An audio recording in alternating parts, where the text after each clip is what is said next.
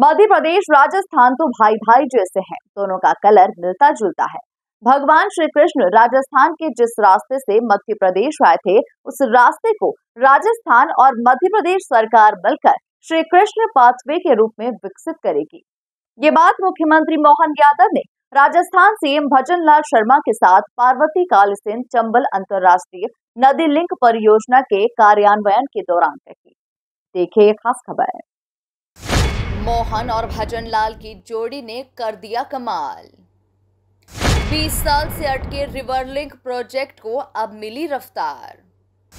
CM Mohan बोले, राजस्थान और मध्य प्रदेश दोनों हैं भाई भाई पार्वती काल सिंध चंबल का पानी एमपी और राजस्थान के किसानों को मिलेगा। राजस्थान और मध्य प्रदेश सरकार मिलकर बनाएगी श्री कृष्ण पाथवे। मध्य प्रदेश और राजस्थान के बीच करीब 20 साल से अटके रिवर लिंक प्रोजेक्ट को अब रफ्तार मिल गई है। प्रोजेक्ट को लेकर दोनों ही राज्यों की सरकारों ने संयुक्त प्रयास शुरू कर दिए हैं। भोपाल के कुशाभाऊ ठाकरे सभागार में एमपी के सीएम डॉक्टर मोहन यादव और राजस्थान के सीएम भजन लाल शर्मा, पार्वती कालीसिंध चंबल अंतर्राज्यीय नदी लिंक परियोजना के कार्यान्वयन के लिए संयुक्त पहल में शामिल हुए।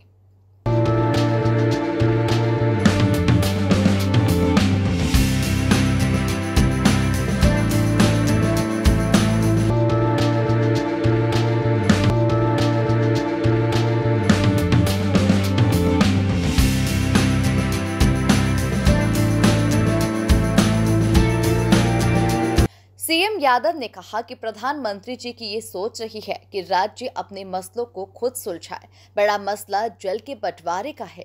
हम ये बात मानकर चलें कि छोटे मोटे इश्यूज़ हैं तो उनका समाधान कर लेंगे। मध्य प्रदेश, राजस्थान तो भाई भाई जैसे हैं। दोनों का कलर मिलता जुलता है। मैं कहना चाहता हूँ कि मध्य प्रदेश और राजस्थान की यह योजना इतनी बड़ी है कि राजस्थान के भी लगभग तेरह ज़िले इसमें आ रहे हैं और लगभग मध्य प्रदेश के भी इतने ही ज़िले इसमें आते हैं। हम देखते थे कि पानी, बारिश होती थी, लेकिन वो पानी पूरा का पूरा हिंद महासागर के अंदर पहुँच जाता था। कई उपका ठीक प्रकार से उपयोग भी नहीं होता था। बारिश के समय हम देखते हैं कि पानी नदियाँ उफान पर हैं, वो पूरा पानी चला जाता था। निश्चित रूप से हम बरसात के पानी जो नदियों के माध्यम से हमारे उस किसान को मिले, हमारी योजना के माध्यम से उस किसान को फ़ायदा हो, जनता को शुद्ध और अच्छा पीने को पानी मिले, इस योजना से दोनों प्रदेशों की जो भौगोलिक स्थिति है, निश्चित रूप से उसका काम आगे बढ़ेगा और पीने का पानी भी मिलेगा और किसान के लिए सिंचाई का पानी भी मिलेगा। दोनों राज्यों के बीच इस योजना से गहरा रिश्ता भी स्थापित होगा। मुझे पता है, राजस्थान में जो परंपराएँ हैं, वही मध्य प्रदेश के अंदर है। राजस्थान के सीएम भजन लाल शर्मा ने कहा कि एमपी राजस्थान दोनों ही ऐसे प्रदेश हैं जिनके पास ज़मीन है, लेकिन सिंचाई के साधन कम है।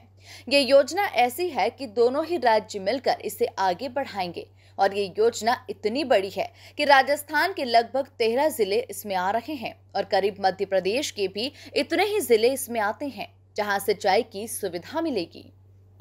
हमारे लिए यशस्वी प्रधानमंत्री का एक बार अभिनंदन करें माननीय नरेंद्र मोदी जी का। जिनकी भावना के अनुरूप यह पूरा कार्यक्रम किया जा रहा है। और उनकी उदात्त भावना इस बात के लिए ही है कि लगातार राज्य आपस में अपने मसलों को भी सुलझाए और मसलों में खास करके जो जल का बंटवारा होता है, बड़े पैमाने पर नदियों से बहने वाला जल लोगों की ज़िंदगी में काम आए, उससे बदलाव आए। और मुझे इस बात की प्रसन्नता है कि जैसे हमारी सरकार बनी और सरकार बनने के बाद माननीय भजनलाल जी और हम लोग मिले थे जनवरी अट्ठाईस जनवरी को, और उस समय आप, आपने और हमने एक विषय निकाला कि यहाँ हमारे अधिकारियों के लेवल पे बड़े पैमाने पर इसकी आवश्यकता तो है कि राजस्थान के अंदर यहाँ से बह के जाने वाली तीनों नदियाँ, चंबल काली पार्वती, इन तीनों की जलधाराओं का दोनों राज्यों की बेहतरी के लिए कैसे उपयोग हो सके? आज हम इस बात के लिए निश्चित रूप से एक बड़ा मन करके चले कि छोटे मोटे इशू अगर हैं, उन इशू को समाधान कर लें। और न केवल पानी, जब बैठे, बात करने निकले तो चंबल, ये पीकेसी योजना जिसको पार्वती काली सिंह चंबल योजना कहते हैं, ये तो होने की बात हुई सही। और भी बहुत सारे विषय हैं, जिन विषयों में एक तरह से माना जाता कि राजस्थान और मध्य प्रदेश तो भाई भाई है, दोनों में कभी कोई अंतर है ही नहीं, इतनी आत्मीयता है और ऐसा कल्चर एक दूसरे से मिला जुला है। और मुझे इस बात की प्रसन्नता है कि हमारा आज का ये जो खास करके बड़ा हमारा एमओयू हुआ दिन में, हम जब तीन दिन पहले जल शक्ति मंत्री के साथ दिल्ली में बैठे थे, उनने कहा, एक नोडल एजेंसी तय कर दी।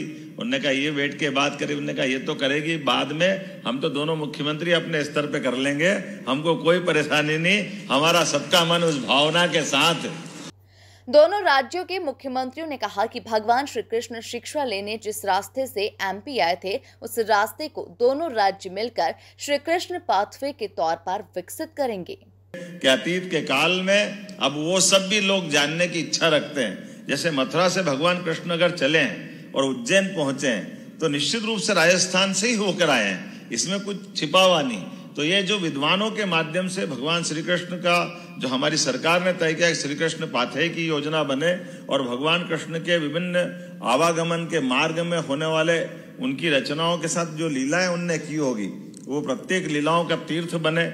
इसलिए भगवान राम पदगमन की योजना जो बनी थी, उसी प्रकार से भगवान कृष्ण की पदगमन की योजना के समान उनका पाथेय बने और परस्पर भगवान कृष्ण के कितने सुंदर तीर्थ जैसे उज्जैन में सांदीपनी आश्रम में तो खाटू श्याम जी है। हमारे कृष्ण भगवान के तो कदम कदम पे सांवरिया जी से लगा करके राजस्थान का पूरा बेल्ट है। और अब जब रेलवे के मंत्री माननीय अश्विनी जी से बात हुई थी उन्होंने कहा, वंदे भारत मेट्रो के नाम से आप भी सर्किट बना सकते तो रेलवे ट्रैक तो हम तो अब, जब भी दिल्ली जाते हैं अगर मालवा से तो कोटा से बिना पास करे जा ही नहीं सकते हैं। वो तो रास्ते में ही है। तो राजस्थान से पार होकर के जाने आने में, लेकिन ये जो नज़दीक की जो ऐसी बड़ी संभावना पर्यटन को लेकर के, और दो ओंकारेश्वर और महाकालेश्वर अपने पास है, भविष्य में अभी हमने यहाँ हेली सर्विस, हेलीकॉप्टर सर्विसेज़ सेवा चालू की है। अभी ट्रेन की भी संभावना अच्छी है। इलेक्ट्रिक व्हीकल के माध्यम से भी दोनों टूरिज़्म कारपोरेशन मध्य प्रदेश और राजस्थान बैठ करके इसका भी संभावना देख रहा है कि हम आपस में एक दूसरे को जोड़ करके बड़े पैमाने पर क्योंकि पर्यटन केवल मन या अपनी थोड़ी बहुत अपने मन की शांति के लिए नहीं है। ये बड़े पैमाने पर कई सारे क्षेत्र में रोज़गार पैदा करने के लिए एक तरह से इंडस्ट्री जैसा काम करता है। कई लोगों को लाभ मिलता है तो इस तरह से भी इस पर आगे बढ़ने की ज़रूरत है।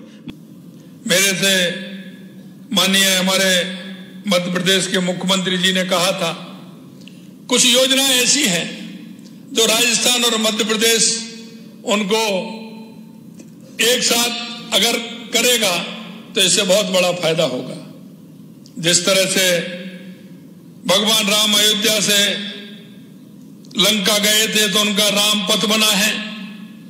मैं भी जब मोहन जी ने इस बात को मेरे को कहा कि भगवान कृष्ण भी मध्य प्रदेश में आए थे क्यों ना कृष्ण पथ भी बने?